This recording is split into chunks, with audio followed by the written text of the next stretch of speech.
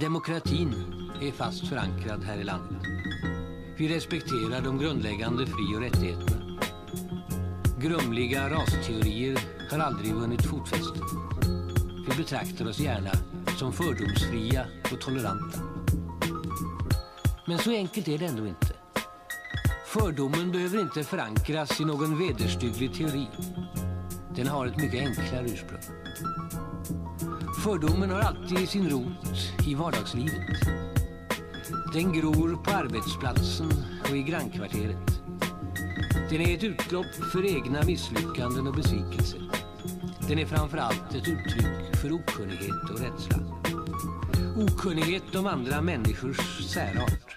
Rädsla för att förlora en position, ett socialt privilegium, en förhandsrätt. En människas hudfärg, ras, språk och födelseort har ju ingenting med mänskliga kvaliteter att göra.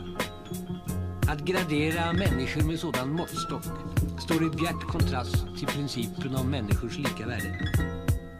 Men den är skamligt enkel att ta till för den som känner sig underlägsen.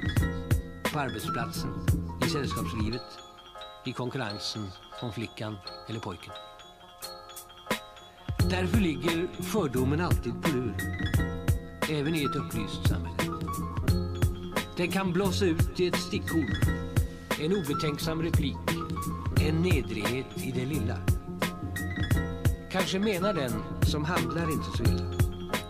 Men för den som träffas kan det riva upp sår som aldrig läks.